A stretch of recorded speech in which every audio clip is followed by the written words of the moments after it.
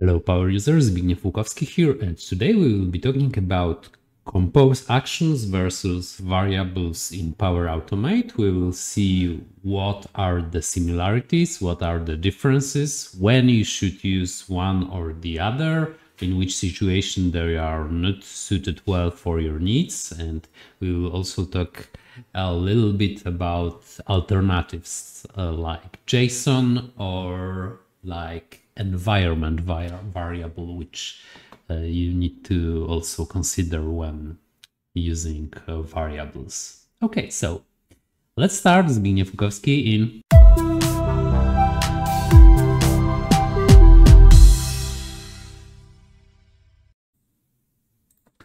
Okay, so first major difference is that when you are using the variable, it need to be initialized. Well, when the compose action uh, can be set in the first action, you you may remember that if you have the initialize variable action, then you can set the value already, so it can be used uh, in the first occurrence when you are using the variable.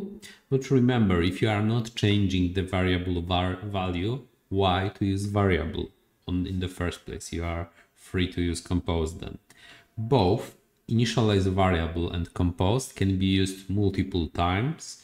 They aren't uh, limited to one use. You can both reuse them when you are uh, working with the flow. If you are initializing variable, please initialize them in the top level of your flow. This will improve the, the visibility. However, if you need more than one compose, I strongly suggest you to use the JSON inside of one, one compose action. I have an, another full video on this topic, so you can look look at my channel and find it there if you need uh, further information.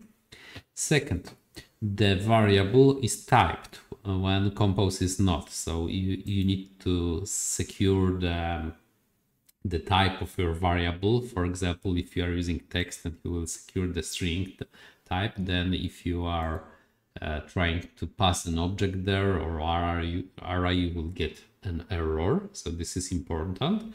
When in compose action, you can just toss anything you like their object in integer or or a string and it will it will be working because the compose action you need to understand that this is like a snapshot of the current value which you are holding when the variable you need to secure the memory for the, the, certain type.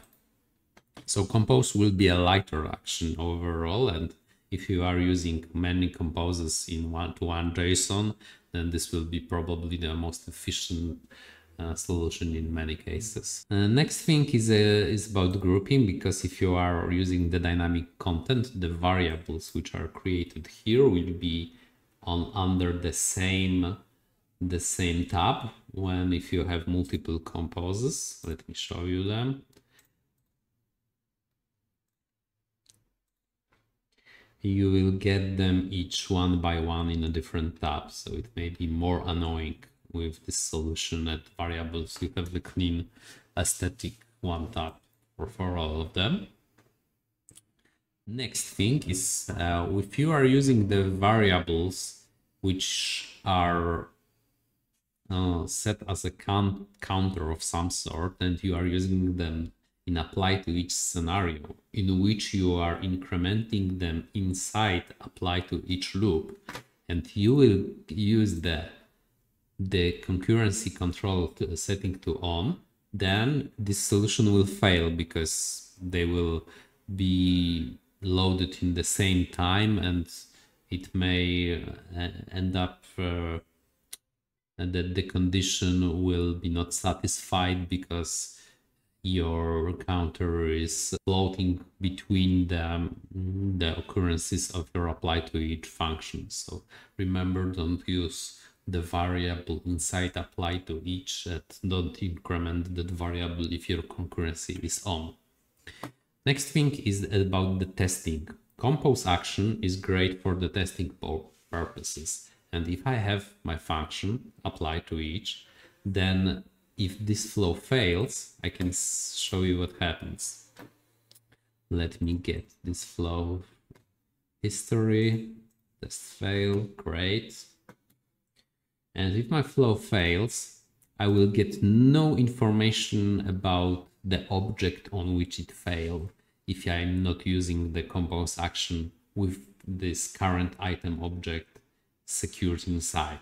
So here I have whole information about my object and from this I can de debug this uh, pretty decently and if I do not use the compose action, at least not in my testing environment, because on your production environment you may need to omit this, uh, this part to lower the licenses costs. If I'm not using this, then I have no information about the object, which is overall very bad for my debugging uh, possibilities. And you should probably avoid this scenario. Okay, so we are where what what we are at. Variables are typed when compose is not. Variables need to be initialized. Variables share the same type. Variables, uh, all of them need to can be used. All of them, the, the compose action and variables can be used many times. I want to also um, mention about environment variable, which is a special kind of variable, and you should use it if you are uh, using the ALM and you are having, for example, dev environment, test environment, and production environment. If you are using them and you want, you are using, for example, an email variable and then changing this email depending on what what environment you are on, then you should secure the environment variable, which uh, environment variable will be just changed once uh, between your environments, not all the time inside the flow, or God forbid you are using the and the plain text inside as an email. So those are mistakes and you should avoid it. Remember about the environment variable and also remember about the JSON, which is a possible option for you if you are using many compose actions. I have the, another video on this.